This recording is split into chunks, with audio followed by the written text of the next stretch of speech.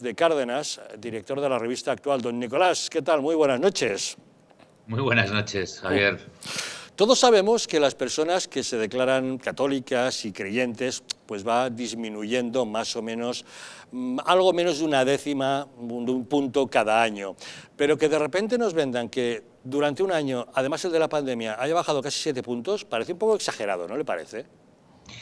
Bueno, eh, parece claro que hay algo que ha sucedido. No sabemos, eh, no sabemos qué, puede ser. El, primer factor de distorsión, mm, ya que estamos hablando del, CIS, es el propio Tezanos. Eh, pero más allá de eso, necesitaríamos un estudio más en profundidad para poder abordar esta, esta caída que, que, bueno, pues se ha dado de un año para otro Curiosamente, además, eh, los datos sobre católicos practicantes y no practicantes se desglosan desde hace un par de años. Eh, yo me he estado fijando en los eh, CIS de los meses de febrero, no los de marzo, pero bueno, de los últimos cinco años y daban el dato global, no daban el dato desglosado. O sea que algún cambio ha habido en la metodología en todo caso. Pero efectivamente, aún así, desde el 17 hasta el 20, estaba en la cifra en el entorno del 68-67%, ¿no? Y de repente hemos llegado al 59-60. Bueno, pues, pues efectivamente algo, algo ha sucedido y habrá que investigarlo con, con, más calma.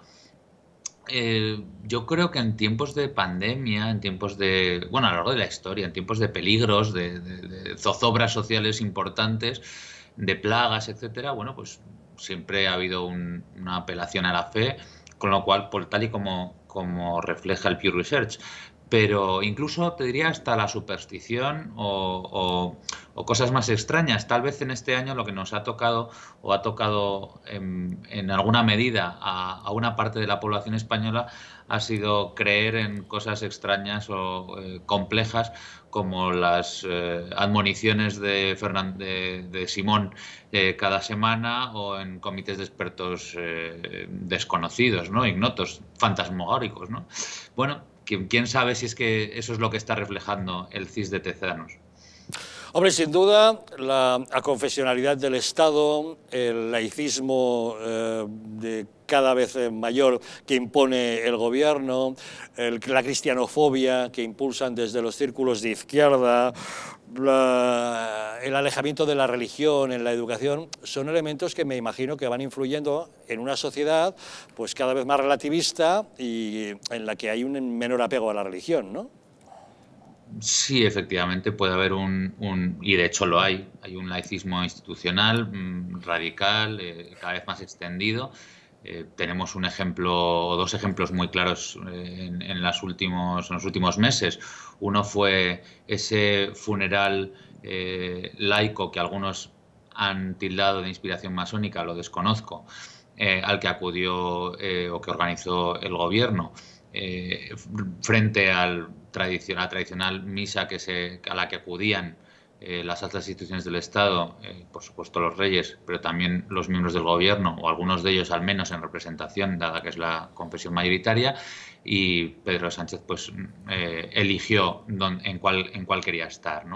el otro ejemplo de la elección institucional más, más claro que se me ocurre de las últimas semanas o los últimos meses es esta campaña sistemática de retirada de cruces por toda la geografía española instigada por grupos de supuestos expertos en la ley de memoria histórica, eh, que bueno, pues eh, incluso van contra aquellas cruces que si fueron algunas de ellas erigidas eh, en memoria de algunos de los combatientes en la guerra civil, llevan años sin ningún otro, sin ninguna otra connotación y no son más que símbolos cristianos que, como cualquiera sabe, son símbolos de reconciliación. Pero en todo caso, eh, me gustaría decir que el laicismo institucional mm, puede ser y evidentemente tiene su importancia en esta, en esta caída o en este aumento del relativismo y la caída de, actitudes de fe, pero eso nos señala mucho más a los que nos, eh, a los que nos declaramos como creyentes que, que, a los enemigos de, la fe. ¿no? Creo que, es una, que esto nos señala más como porque deberíamos ser más cuidadosos o trabajar más por mantenerlo que, quejarnos de que el, enemigo está ahí porque está desde el principio, mm, desde una visión sobrenatural, ¿no? Está desde el principio de los tiempos y además eh, ahí está en la Biblia dicho que, que os esperarán persecuciones por mi nombre, así que tampoco debería extrañarnos tanto. Pero Nicolás, llega la Semana Santa, y ahora no porque estamos en pandemia, pero en condiciones normales son miles y miles las personas que acudan a las procesiones.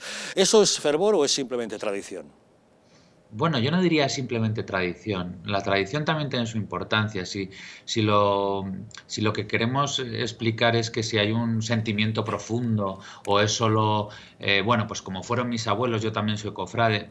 Eh, ya, es, ya, ya está bien que por respeto a los abuelos uno haga determinadas cosas eh, en algunos momentos del año. ¿no? Yo creo que, que, hay que valorarlo como algo, como algo positivo y que, y que, bueno, pues cuando la gente se acerca a este tipo de, de, ritos, de eh, manifestaciones, de, de, procesiones, mejor dicho, eh, o de manifestaciones religiosas, efectivamente, pues, pues ambas, fervor y tradición, ambos son, son elementos que están ahí, eh, no son despreciables a, mi modo de ver. Es más, yo creo que, pues, se, puede, se puede, alguien podría ver algo de hipocresía. Yo, yo bueno, pues es posible que, en algunos casos lo haya y de hecho hay una cosa que, que se llama el pecado de escándalo, que, por el que bueno, pues personas en determinadas situaciones no deberían protagonizar eh, según qué, actos religiosos. ¿no? Pero la fe del carbonero, la fe sencilla de la Virgen de mi pueblo es, es, muy apreciable, yo creo. Y, y, por otro lado, bueno, pues eh, el instinto natural eh, religioso está presente en la naturaleza humana desde el principio de los tiempos, de una, de una u otra manera. Y bueno, pues no, no, no. Eh, esa fe tan, digamos, que a veces es hasta, hasta folclórica, ¿no? Y, que, que en algunos ambientes podría extrañar, yo creo que también tiene su, su parte perfectamente eh, no solo rescatable, sino reivindicable.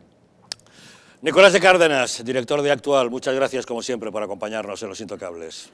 Muchas gracias, Javier. Feliz Semana Santa. Muy feliz Semana Santa. Alex.